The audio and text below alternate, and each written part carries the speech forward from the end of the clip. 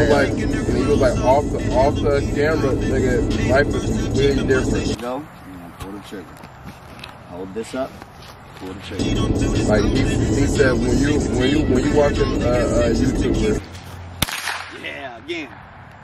you guarantee guarantee you're only seeing five percent of their of their life. Perception dictates what you believe, what you don't believe, what you challenge, what you won't challenge, what you accept, you won't accept.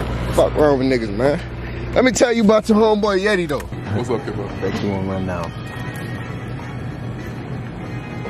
Yeah. Register. That mean I gotta put the EBT card on. What do you do? Pussy. I'm well. It's like a. It's like God damn. Do I want to spend bread on pussy? This nigga waited for me to start hollering at the bit right before he wanted to start talking to the little bit. How y'all doing? Yeah, how you doing? Shit, married? Oh shit. Got a boyfriend? Oh, hold on. So can I get your number to be a friend or? Mm, I had a text him type. You got snap? I don't know what he's talking Oh about. yeah, yeah, baby. Like what the fuck?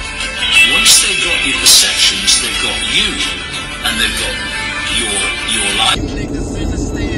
And at that, that five percent is is, is is is damn near them acting. This is why they want to control the information that people receive, because where do perceptions come from? They come from information received. Thousand dollar giveaway. Hey Jay, Jay, if a nigga ever try you, I'ma bring you that nigga head like this, man. Subscribe to Cousin Cartel or Jarrod Cook. Go subscribe. Thousand dollar giveaway. First subscribers. Better go subscribe.